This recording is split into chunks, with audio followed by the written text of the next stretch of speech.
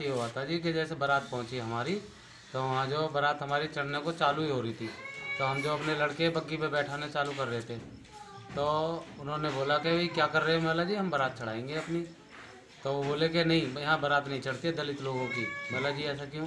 एक लड़का बोला, आपको पता नहीं कौन है? मैला जी कौन है कि प्रधान है? मेरा प्रधान जी, आप तो बुज़ुर्ग आदमी हो और बढ़िया आदमी हो तो हमारी बारात आपसे सही से चढ़वाओ। कि नहीं यहाँ बारात रात नहीं चढ़ेगी। आज सालों कोट पैंट पैर पैर के आए हो तुम्हें बनाएँगे हम बॉस यहाँ मारो सालों को इनको जो। ये उन्होंने डंडा बजाने चालू कर दिया। एक बाराती ऐसा नहीं छोड़ा कि जिसमें उन्होंने डंडा नहीं बजाए हों। हम तो अपनी जान बचा बचा के घरों में घुस गए जी।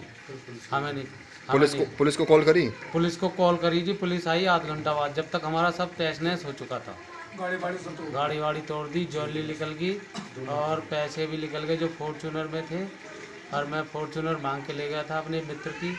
मैं खुद चला रहा था उसको। बारात चढ़ी थी क्या हुआ था? नहीं बरात बरात चढ़ी नहीं है जी। वहाँ तो ऐसा कुछ हुआ ही नहीं करीब निकल गए? पैसे तो उसमें से कम से कम मेरे जो ना दो लाख रुपए थे क्योंकि सबको पेमेंट करना था। और सारी ज्वेलरी मेरे पास ही थी लड़की के लिए। चीज़ कितनी? चीज़ तो कम से कम हमारे नौ जोड़ी या ग्यारह जोड़ी चढ़ाते हैं जी।